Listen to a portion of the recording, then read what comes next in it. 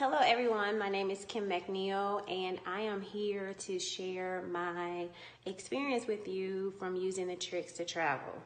So, a little bit about myself. I've been to 90 countries so far. Prior to the tricks to travel, I thought that I was working the points. Guess what? The points were working me.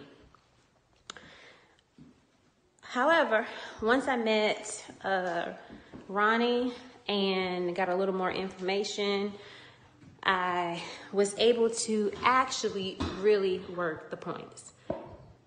Prior to using the tricks to travel, you know, like I said, I had gone to 65 countries and I thought I was living the dream, you know, having a phenomenal travel experience.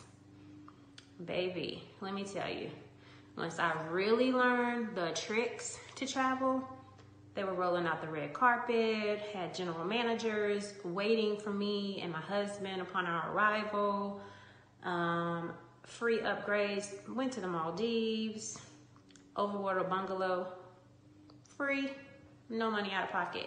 So for what they are asking for, the price is literally priceless. My recommendation is don't wait at all. Go and get this because it literally pays for itself a thousand times. Another tip is that normally when you buy something, that's that, not with the tricks to travel. They have a private group chat where he is constantly, when I say constantly, I mean constantly updating you on what's the latest, the greatest, and the newest out in the travel world. So again, you really get your money's worth.